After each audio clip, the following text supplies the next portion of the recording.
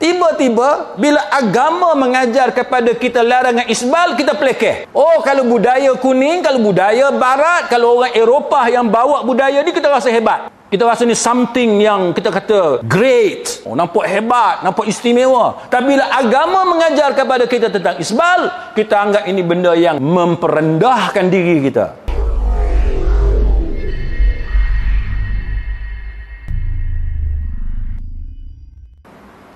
Kita tuan-tuan. Cuba tuan-tuan tengok.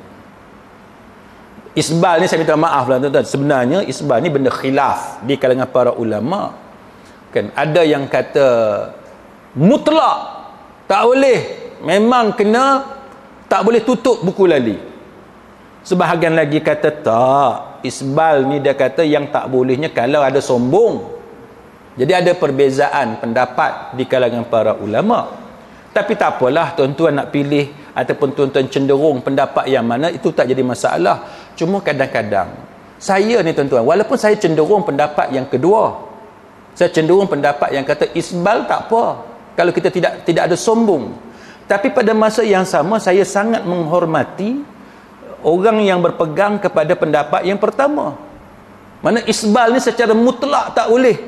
Hang sombong ke, tak sombong ke, tetap tak boleh maka kita tengoklah ada ada kawan-kawan kita dia pakai seluar singkat kan? Lepas tu ada orang duk ketawa kan? Duk gelak lah apa semua apa dia pakai lagu ni. Kan? cuba tuan-tuan bayang kalau menteri pakai seluar lagu tu. Ha kan? Ha, cuba tuan-tuan bayang kalau doktor ke orang profesional orang besar-besar pakai pakaian lagu tu kita kata apa ni nampak lekeh sangat.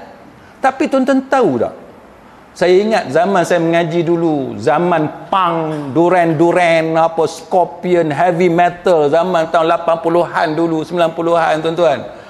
Seluar tu dia punya singkat, lepas tu dia kecil. Ingat tak zaman tu? Zaman tu tuan-tuan, bangga ni budak-budak zaman tu. Oh kalau pergi sekolah, pergi mana-mana kalau pakai seluar singkat ke hebat. Tiba-tiba bila agama mengajar kepada kita larangan isbal, kita pelekeh. Oh, kalau budaya kuning, kalau budaya barat, kalau orang Eropah yang bawa budaya ni kita rasa hebat. Kita rasa ni something yang kita kata great. Oh, nampak hebat, nampak istimewa. Tapi bila agama mengajar kepada kita tentang isbal, kita anggap ini benda yang memperendahkan diri kita. Ini masalah kita, tuan-tuan. Sebab tu kalau tuan-tuan walaupun tuan-tuan uh, macam saya sekalipun cenderung kepada pendapat yang kedua, jangan kita hina pendapat yang pertama. Sebab sebab pendapat pertama pun hujah dia kukuh. Kan? Hujah dia pun kuat. Maka kita kena uh, perhatikan uh, concern uh, para ulama tentang hal ini. Maka bila Imam Qurtubi dia nakalkan, dia sebut apa dia dia petik kata-kata Umar Khattab bila Umar kata irfa izarak dia kata naikkanlah kain kamu itu tiga benda. Lebih takwa kan? Lebih takwa lebih bersih dan dia lebih dapat mengelak daripada terkena najis. Ha, itu kata Umar. Lepas tu Imam Qurtubi dia bawa hadis daripada Abu Bakar radhiyallahu anhu. Apa kata Abu Bakar? Abu Bakar kata ya Rasulullah inna ahada syaqi. Inna ahada uh, syiqai izari yastarkhi illa an ata'ahada dhalika min dia kata ya Rasulullah sesungguhnya salah satu dia dia ada dua kain kain sarung. Dia kata salah satu daripada sarung aku ni kadang-kadang dia turun sendiri dia jatuh sendiri. Kecuali jika aku selalu menjaganya pakai kain dia melorot apa? Dia turun lah dia turun ke bawah. Pakai tu tinggi dah lepas tu dia turun ke bawah. Jadi Abu Bakar Siddiq mengadu kepada Nabi sallallahu alaihi wasallam pasal kain hak dia pakai tu dia dia turun ke bawah. Dia nak kena jaga kena naikkan balik.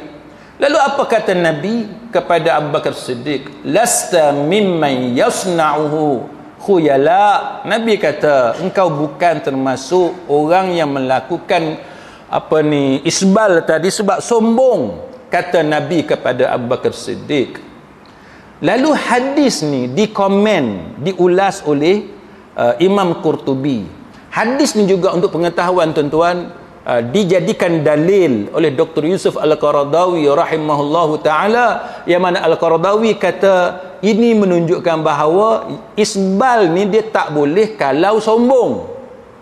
Ha, tapi ada perbahasan lah. Ada ulama yang tak setuju dengan pandangan itu. Maka bila Nabi kata macam tu kepada Abu Bakar Siddiq Al-Qurtubi kata apa ni Imam Qurtubi kata apa? Imam Qurtubi kata fa'aradal adniya ilhata anfusihim birrufa'a dia kata kemudian ada orang-orang hal lekeh ni dia menyamakan dirinya dengan Abu Bakar Siddiq. Maknanya boleh isbal dengan alasan tidak sombong sebagaimana Abu Bakar Siddiq tidak sombong. Jadi ulasan Qurtubi ni diulas oleh para ulama ulama kata apa? Mereka mengatakan bahawa Qurtubi ni Imam Qurtubi termasuk antara ulama yang mengharamkan isbal secara mutlak tak kira sombong tak sombong, kau engkau sombong ke engkau tak sombong ke tak kira. Ibnu Hajar pun macam tu, Ibnu Arabi pun macam tu, Az-Zahabi pun macam tu. Ha, tetapi sebagaimana yang saya sebut kepada tuan-tuan tadi, para ulama berbeza pendapat uh, tentang masalah tadi. Kan? Tentang masalah tadi. Baik. Jadi itu uh, apa yang uh, diulas oleh al-Imam Al-Qurtubi rahimahullahu taala. Ha, berkenaan dengan uh, yang kata isbal tadi